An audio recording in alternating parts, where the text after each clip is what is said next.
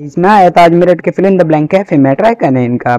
सबसे cheap pizza और जो अंदर का इंटीरियर तो बहुत ही सुंदर था और मेरे को ना इनकी थोड़ी सर्विस लो लगी क्योंकि मेरे ऑर्डर आने में बहुत टाइम लग गया था और मैंने ट्राई करा इनका अनियन पिज़्ज़ा जो कि था। टेस्ट में अच्छा एक बार ट्राई कर सकते हो और वीडियो अच्छी लगी लाइक करें चैनल सब्सक्राइब करें।